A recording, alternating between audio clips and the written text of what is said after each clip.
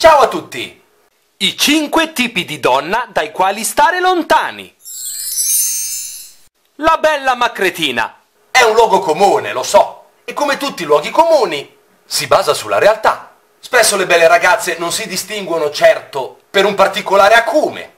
Sembra anzi che siano più interessate a dedicarsi esclusivamente al proprio corpo e al proprio aspetto, piuttosto che coltivare la materia grigia, di cui anche loro sicuramente saranno dotate.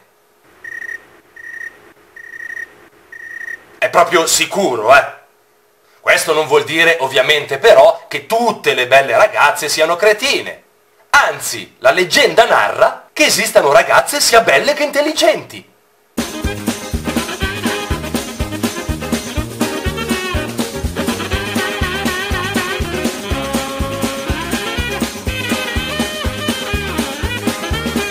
Leggenda che per quanto mi riguarda deve ancora trovare fondamento. Comunque non è di loro che devo parlare, ma per l'appunto della categoria belle ma cretine, una categoria molto diffusa a livello globale. Ma andiamo a vedere un esempio. Amore, che cosa ne dici se oggi andassimo alla Feltrinelli? Devo fare un acquisto? Va bene, ma prima devo finire di truccarmi.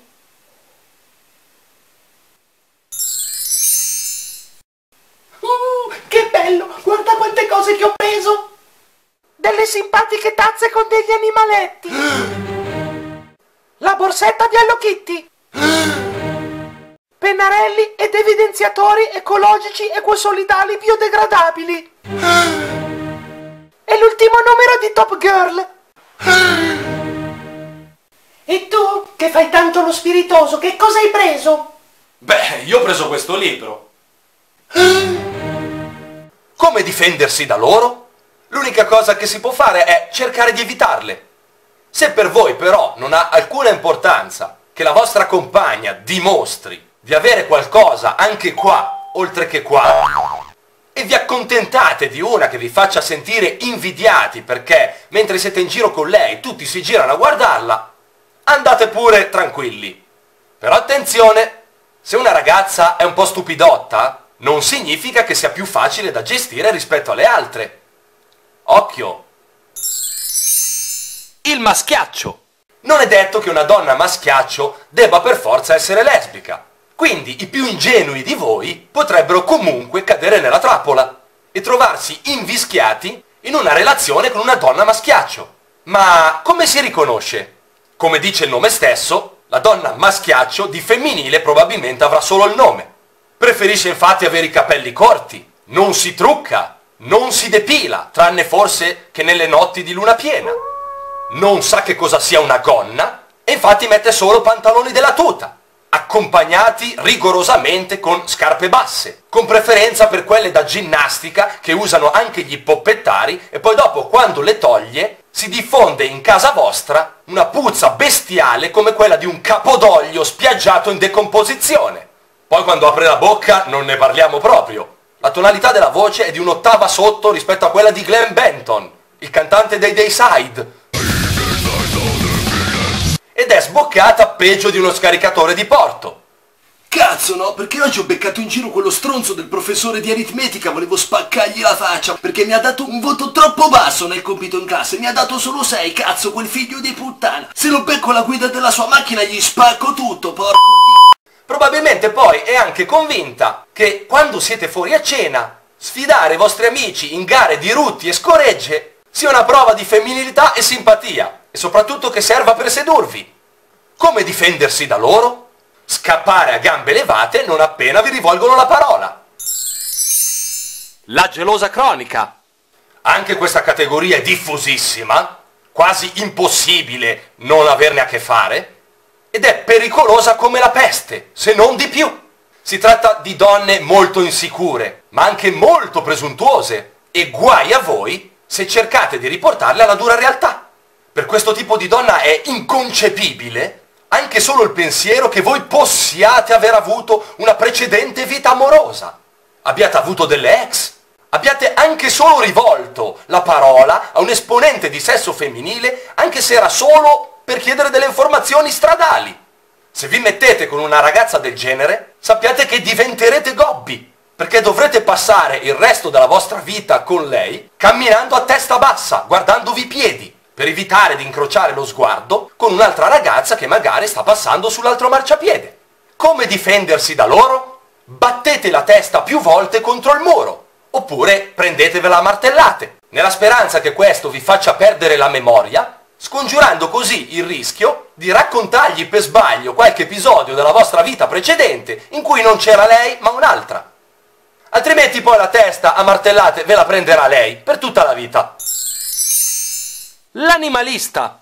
All'inizio questa vi potrà fregare. Sarà molto gentile e disponibile con voi, vista l'abitudine di passare la stragrande maggioranza del suo tempo ad accudire qualsiasi creaturina vivente che abbia avuto la sventura di capitargli fra le zampe, eh, fra le mani.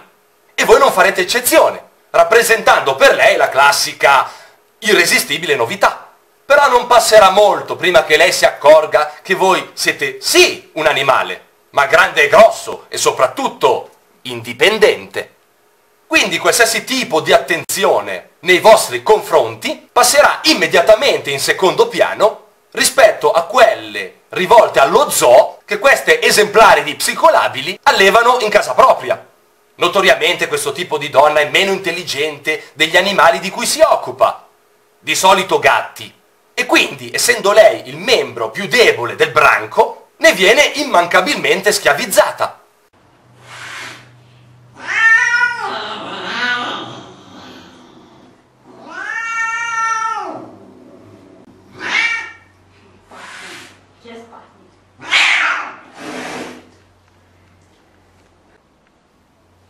Le case di questi tipi di donna sembrano sopravvissute per miracolo a una devastazione nucleare e puzzano come una stalla sotto il sole di agosto. Disordine ovunque, sporcizia, divani e poltrone fatti a brandelli, piscio di animale in ogni angolo della casa e soprattutto avanzi di croccantini per gatti sparsi ovunque.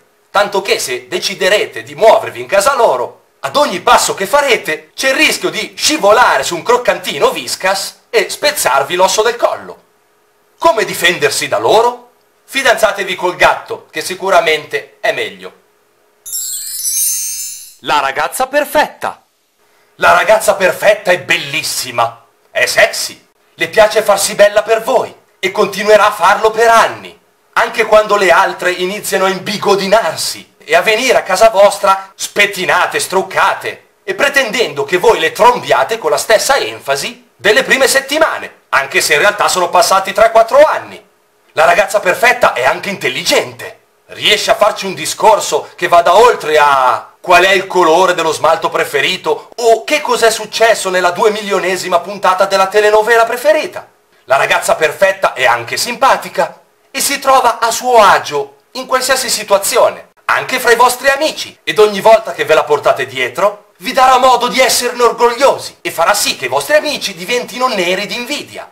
La ragazza perfetta non si offende se vi dimenticate l'anniversario della data della morte del suo criceto preferito e non è mai gelosa se vi casca l'occhio sul davanzale della sua amica, perché sa che voi la amate, anche se ogni tanto vi sfugge il controllo di dove guardate. E che male c'è? La ragazza perfetta vi sarà fedele fino alla morte, come Argo, il cane di Ulisse.